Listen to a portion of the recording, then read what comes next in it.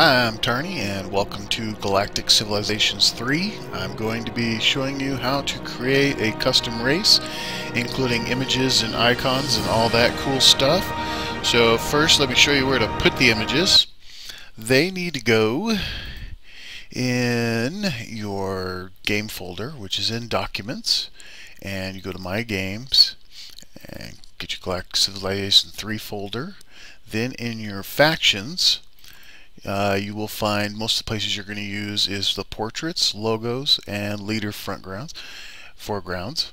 And you can see I already got some images in here that we're going to use to create it. And but first, okay, in your leader foregrounds, those images need to be 1920 by 1080. That'll be the big image. We'll show you that. Uh, your logos here, uh, your uh, they need to be 128 by 128 and uh, with a transparent background. All the images in all these folders need to be in a PNG format. And in your portraits, these will be the uh, your leader images uh, themselves. They need to also be 128 by 128 and in a PNG format. They don't have to be in a transparent background though. Um, they recommend that it is, uh, but they don't have to be.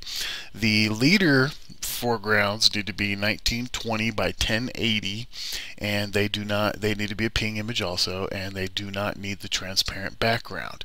So we've got our images in here already and already sized and, and all that stuff. So we'll get out of here and get back into uh, Galactic Civilizations and show you how to create a new race. So we'll go to a new game and I've already created a couple races but we'll just uh, start with a new one here we're going to take him and we'll copy it which makes the new race. Now here in the first section with your leader we're going to change this image. This is that leader foreground image and so we'll just choose picture here and you can see down here there's all the choices you have but you can see I've already added one in here. I'm doing an Iron Maiden theme on this one so you're going to see a lot of Iron Maiden stuff on here. So we'll select that. There's my my main image. Nice picture of Eddie right there. Then, uh, okay, our leader portrait, we'll edit him.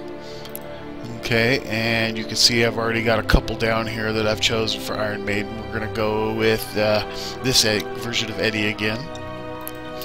And uh, so now, here you can name them. So we'll just go ahead and make our leader name Eddie and uh, we won't. You can put in whatever simple, you know, whatever description you want uh, about your leader, and but we'll just leave that blank for now. Uh, your race overview. Here you get to name them. So we're gonna name our race Iron Maiden. Yeah, I'm an Iron Maiden and short name will be let's go the Maidens. And you can change your call sign. So these are the TAS if you want SS or USS or anything like that. Uh, homeworld name uh, we'll do Iron Maiden. Okay and if you want to put in a description or anything like that uh, your race logo you know, these uh, like I said, they have to be 128 by 128. You can see I've made a few here already. We've got the Thundercats logo, the Mortal Kombat logo, and here's my Iron Maiden one. we'll add that in. And remember, 128 by 128, and they need the uh, transparent background. Oh, you know what? Let's change the uh, homeworld name. Uh, let's see. Think of uh, good song from Maiden. Uh, we'll call it Icarus. And in our star system, let's see. You, now here in your star system, you get to choose what kind, you know, based on the other races that already exist. But it tells you, like, you know, contains a beautiful Class 12 world with a bonus to tourism and approval. So you can choose which, you know, a ruined star system, no habitable planet, it's just a burned out rock used by the brave and adventuresome. So you could just choose. You could. It'll start with different planets. Uh, this one just starts with a class 16. Uh, you know, this one contains also a class 16. This one's got a 13 and a 3, 8 and a 4. You know, so you could choose which kind of system and which worlds you wanna you wanna start with, and uh, to go from there. I like to start with the two planets because I like to make my secondary planet just a research planet right off the get-go to begin with. And uh, so we'll go ahead and start. We'll stay with the Sol on here. It starts with a class 11 and a class 5. Uh, we'll stick with that. And, uh, okay, traits and abilities. Here's where you get to design your advantages and disadvantages with your race. And we've decided to make Iron Maiden a militant race. And uh, so here, let's see, ancient, see all of these different uh, available uh, special abilities have different, uh, uh, you know, advantages and disadvantages to them. So we're gonna go, yeah, we'll go unrelenting, and let's see, prolific. They're not paranoid. Uh, entrepreneur, aesthetic, intuitive, knowledgeable, wealthy. Yeah, we don't need any of this stuff. Uh, we'll go patriotic. Get rid of engineers. Alright, so you know, see here, it starts with the basic points that were already listed. I think we took the Terran race. And you can see each thing has, like, okay, here, productive. If we chose this one, uh, we get, you know, plus 25% to manufacturing. It's already on this setting at, at plus 15%, but you can go negative. Now, when you go negative, you get points for that. Like if we went negative 25% manufacturing, look, we got bonus points. So there, uh, since we're making a militant race, we're going to definitely go with the, the military. Uh, popular, let's see. Okay, we're not going to trade with people. See, now if you do that, we got more points that we can choose in other things now. We'll go ahead and turn everything off. And uh, we're going to turn off that production for now. Let's see. Brutal. Soldiering. We'll get. We'll be a little brutal. Yeah, we'll get. Some, we'll be tough. Uh, we got a couple more points left. Popular, dense, handy, economical, resilient. Sounds good. Yeah, we'll go a little. We'll be a little resilient. We don't care about being likable. Uh, let's see. Being fast is good. So we're just gonna, you know, not normally a race I would normally do, but we're just gonna be generic on this just for showing you everything. Now, in the appearance, here you can change your interface theme, you know, to a color scheme that you like. We'll just go with Iconian. Uh, let's see. We'll go with the Drengin map scheme. Ship style, you can choose whatever you'd like. There's different ship styles you could use, which also changes the names of the ships and the styles and all that. Uh, ooh, let's see, what looks a little aggressive here?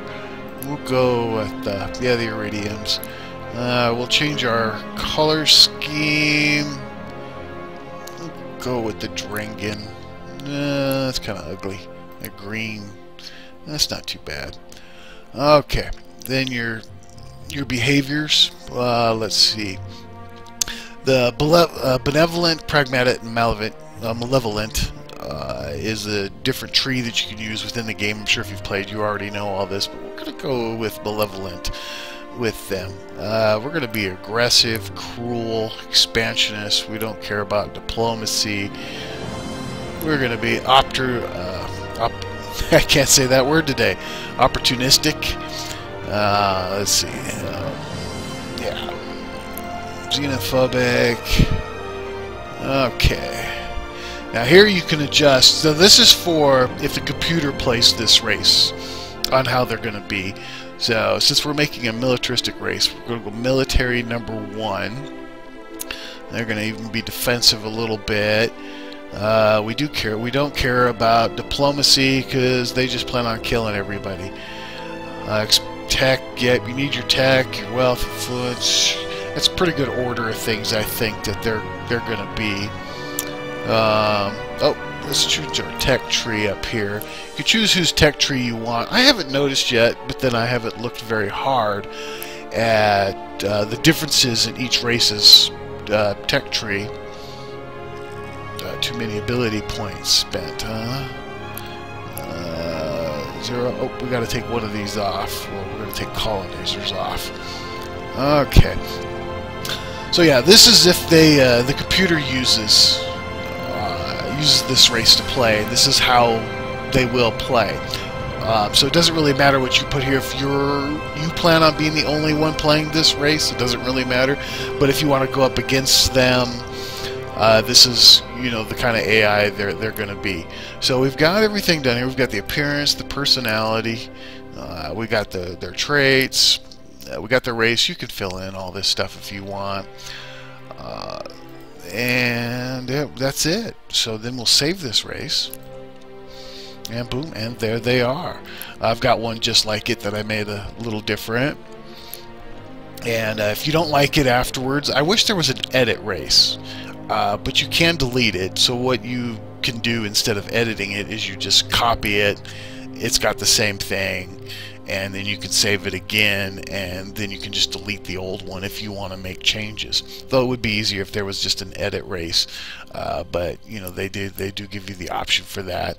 You can see a few other races I've created and uh, so but that's how you make a custom race and add in your own personal icons when you're on the map. You know this is the image that's on you know that's on the planets and stuff like that.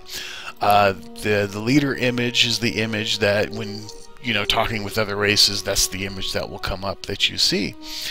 So hopefully this helped. Uh, enjoy your game and uh, have fun designing your own races. We'll talk to you later. Bye.